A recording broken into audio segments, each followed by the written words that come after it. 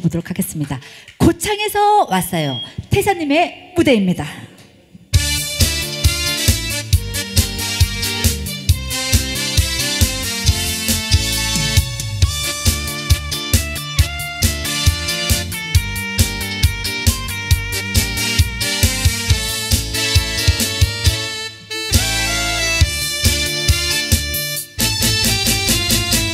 어디서 왔느냐고 물으셨나요?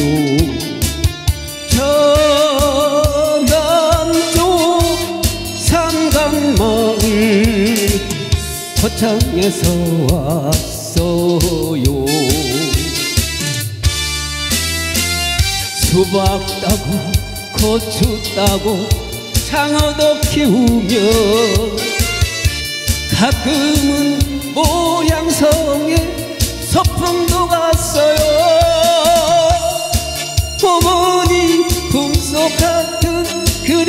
내 고향 꿈에서도 들려요 소리서의 종소리. 청보리가 피는 날 호남선 타고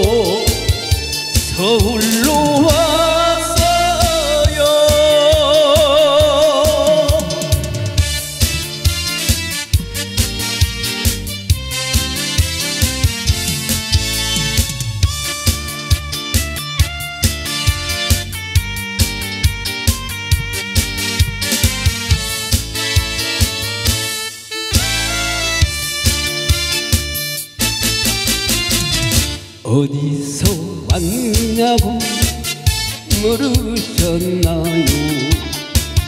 저 남쪽 산간 마을 거창에서 왔어요. 수박 따고 고추 따고 장어도 키우며 가끔은 모양성에 소풍도 왔어요. 어머니 품속 같은 그리운 내 고향 꿈에서도 들려요. 선원사의 종소리. 동백꽃이 피는 날 호남선 타고 서울로